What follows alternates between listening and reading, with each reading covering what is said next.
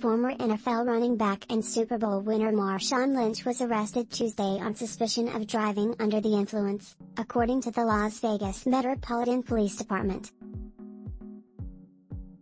Responding officers stopped Lynch at Fairfield Avenue and West Utah Avenue, just north of the famed Las Vegas Strip, and concluded Lynch was impaired, the department said.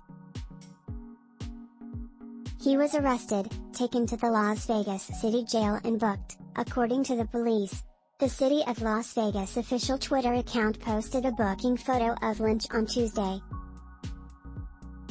On Monday, the Seattle Seahawks announced Lynch was hired as a special correspondent for his former team to produce creative content for a variety of projects.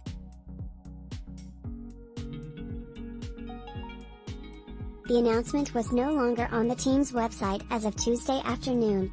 CNN has reached out to Lynch through the Seahawks for comment.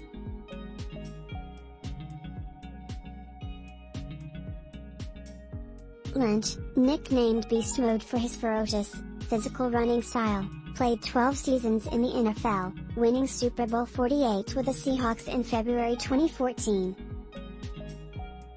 Lynch retired in 2019 after having played with the Seahawks, Raiders, and Buffalo Bills. Lynch was a standout tailback at the University of California, Berkeley.